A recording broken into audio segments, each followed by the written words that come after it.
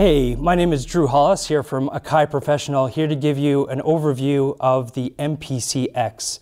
Now, this is a product that we've been developing for a long time. A lot of blood, sweat, and tears went into making this. We really wanted to make sure that all of the legacy MPCs that everyone were in love with in the past and the new controllers that we've come out with were merged under one roof. So this is a completely standalone unit that can also function as a controller for MPC software. So inside here, what I have is a 1.8 gigahertz quad core processor 2 gigs of RAM and 16 gigs of onboard memory. Now that's fully expandable, so if this is your core production piece and you're going to be bringing this from studio to studio, room to room, you have 16 gigs on board, but that's also expandable. I have a SATA drive bay underneath and I can put another hard drive in there. And I also have expandability through SD and through additional USB slots. So let's give an overview of the top of the hardware here. First of all, the number one thing people always see is this beautiful 10 inch full touch color screen, and that has 10 full points of touch. So if you're doing effects manipulation or doing a lot of hardcore things, you can actually have all 10 points of touch active at the same time. Up the top here, we have our classic MPC pad banks. So I have 16 pads in front of me, but those can be expanded over eight separate banks. A through D, and then E through H.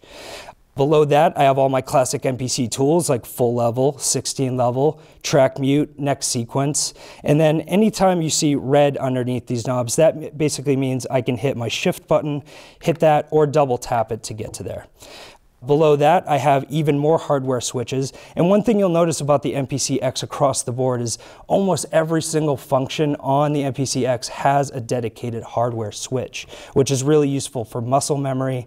And once you're really in those late night sessions, not double guessing where things are. But besides that, if I don't want to use my hardware switches, back to the touchscreen, I have easy access to just about any option that I'd want to get to. My main track mix, if I want to go to my sample editing, I can use my touch screen to actually go in here and actually edit things all the way down to the sample. It's really, really accurate. Below my main transport and contact section here, I have my Q-Link knobs.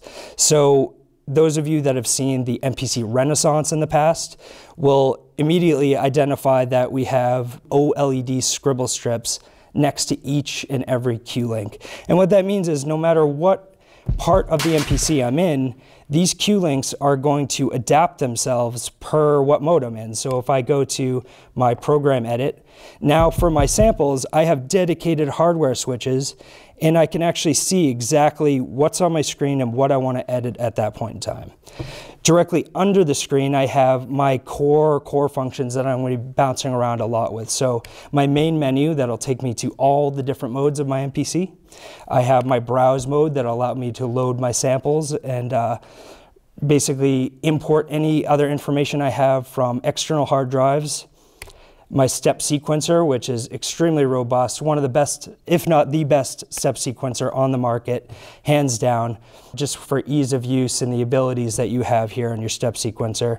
Of course, your sampler, and we have XYFX, which will allow you to do effects manipulation using the touchscreen itself. Below all that, I have the best pads in the industry. They're the most responsive, the most uh, tactile when it comes to dialing exactly what you want from the pad. So I can dial in my threshold, my velocity, and actually the curve of how much pressure it takes to trigger that pad. Best in the industry, you guys are going to love them. So up at the top here, again, we have our VU meters and another OLED screen here, which actually tell you exactly what you're monitoring, whether it's your input or your output. On the back here, now we have tons and tons of inputs and outputs. MPC has been known as being obviously a MIDI production center, now a music production center with the case of MPC-X. We have eight dedicated outputs, we have six inputs on here, and dedicated phono inputs. So if you have a vinyl turntable and you want to sample your own material into the MPC, you have a dedicated phono input. You don't need any other conversion to get that stuff in. Next to the MIDI ins and outs, I also have CV outputs. So control voltage that will send messages out to my analog synthesizers, and I can actually save those as programs inside my MPC and automate all of that stuff. It's really, really cool. Off the side here, I also have some XLR and combo TRS inputs. And it's important to note, we have some really, really great mic pre's on here, but they're also defeatable. So if you have some really expensive outboard pre and you'd rather use that preamp to get the sounds in, you can fully do that. These are defeatable if you go through the TRS. We also have an SD card slot on the back so you can get your stuff in and out. And of course, like I said, it's expandable for memory. So really the sky is the limit for whatever you want to do with this, including the fact that this comes with the full version of MPC 2.0 software. So if you're using the standalone, you actually have now access to eight full audio tracks to record directly into your MPC without any computer hooked up. But if you want to add more audio tracks, all you have to do is hook it up to your MPC software via your laptop. And really at that point, you have as many audio tracks as your computer can handle. Now, this is a very brief overview of the MPC X. If you want more information, please visit fullcompass.com or contact your Full Compass sales professional. Thanks.